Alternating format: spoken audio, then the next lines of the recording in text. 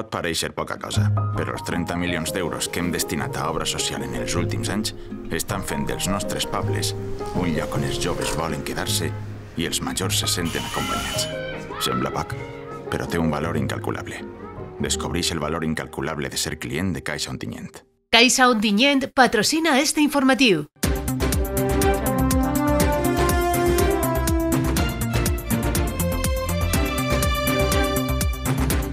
L'església de Sant Nicolau del Grau de Gandia serà Vic. Gandia amb reserves per a combatre la sequera. La Generalitat ha iniciat els tràmits per a declarar bé d'interès cultural amb categoria de monument l'església de Sant Nicolau del Grau. A partir d'ara s'estableix un període d'un mes per a demanar l'opinió de les persones i les organitzacions afectades. Des del govern de Gandia consideren que el Vic és una figura de protecció que es mereix l'església de Sant Nicolau, un monument icònic del barri pesquer. L'església de Sant Nicolau va ser construïda en 1962 de la mà de l'enginyer Eduardo Torroja Roja i és el millor exemple d'arquitectura de la modernitat a Gandia.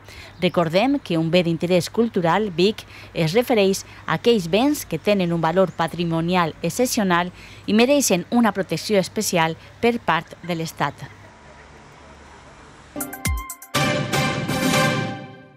Ahir contaven que el sistema del Serpis està en alerta per escassetat d'aigua però a Gandia podem estar tranquils.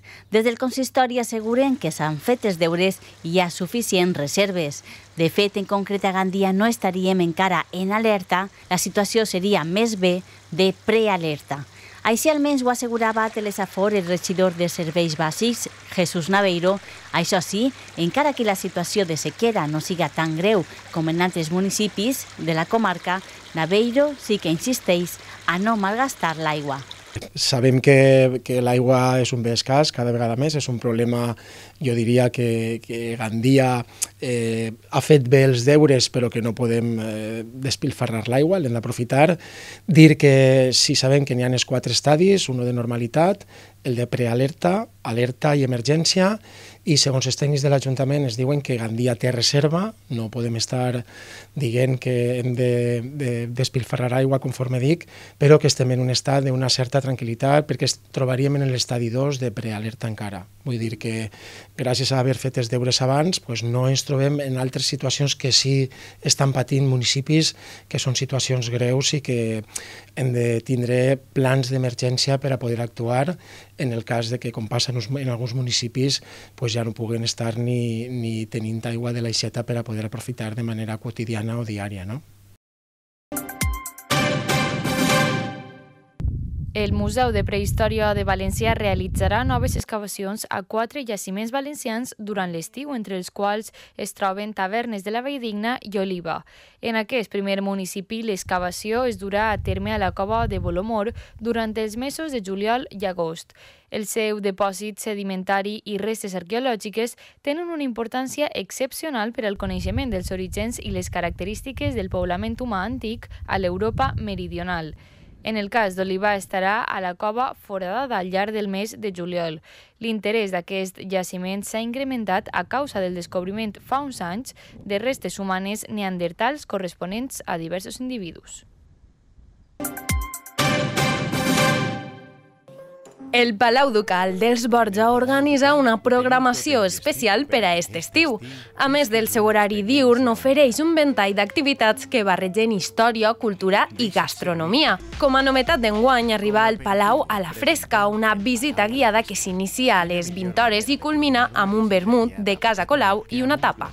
Sí, és la novetat d'enguany i el que vam eh, pensar és oferir als visitants una visita guiada eh, normal, que com sap la gent que ja l'ha feta, acaba en la terrassa, sí.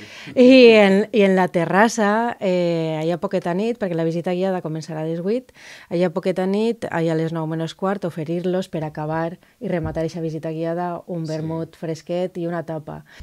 Es mantenen algunes activitats ja habituals de l'estiu al Palau. En línia gastronòmica torna el tast de la duquesa, una cita al pati d'armes des d'on es degustaran cinc plats del restaurant, vins i més, maridats amb cinc cerveses artesanes del Llúpol Craft Bar.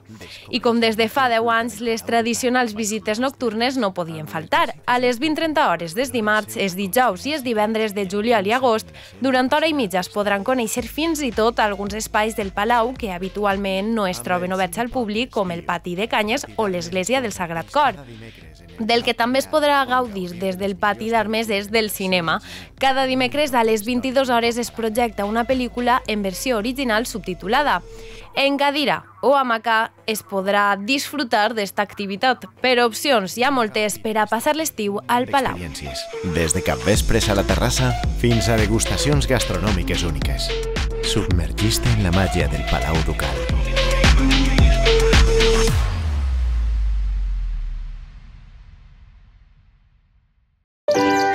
Frutas Amador patrocina els esports.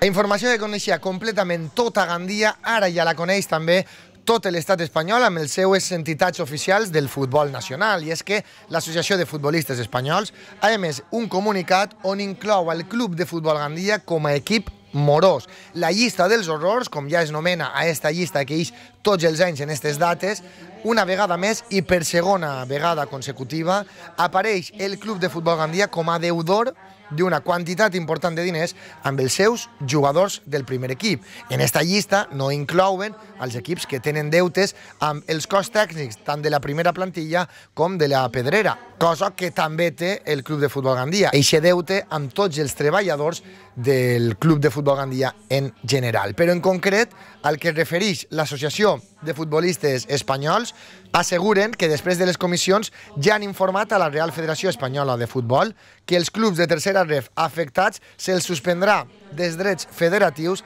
i no podran tramitar llicències fins que paguen els seus deutes. Ha expressat la seva preocupació també per l'increment d'impagaments en tercera ref respecte a temporades passades i això es deu a la introducció dels inversors dins del món de futbol. Uns inversors, entre cometes, com el cas de José Manuel Traver i el seu Get Energy o Blau System, que després no acomplixen ni per una banda la inversió que han de portar d'altres empreses, ni per l'altra el pagament de la publicitat de la seva pròpia empresa. Tot una situació que encara avergonyís més al Club de Futbol Gandia per ser la segona temporada consecutiva que ho viu i que fa patir a jugadors, entrenadors i cos tècnic de tot el club, tant de la Pedrera com del primer equip, dels seus impagaments amb una situació lamentable que està més abocada a la desaparició que a la salvació del Club de Futbol Gandia. Frutas Amador patrocina els esports. En Paula. Paula és... És la, la companya de pis, la que ve de Vigo. Va. Coses que... Ai, espera, papa, que aquesta convida jo. Pot pareixer poca cosa, però els 30 milions d'euros que hem destinat a obra social en els últims anys estan creant majors oportunitats perquè els nostres joves troben el seu primer treball i puguen començar amb la seva pròpia vida. Sembla poc, però té un valor incalculable. Descobreix el valor incalculable de ser client de Caixa Ontinyent. No, a veure, no te flipes que continue siguent mon pare. Caixa Ontinyent ha patrocinat este informatiu.